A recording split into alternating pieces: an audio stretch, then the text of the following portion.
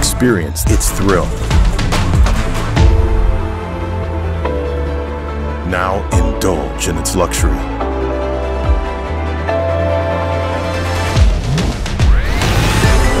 Welcome to the grand side of thrill. The Three.